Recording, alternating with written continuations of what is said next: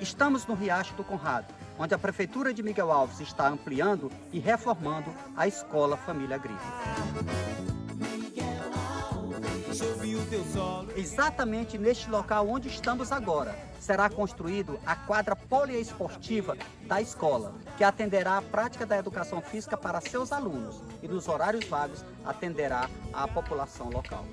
Além do ginásio poliesportivo, serão construídas duas novas salas de aula e também uma área coberta que servirá para o refeitório da Escola Família Agrícola. Esta é mais uma ação da Prefeitura de Miguel Alves, buscando a qualidade do ensino do município.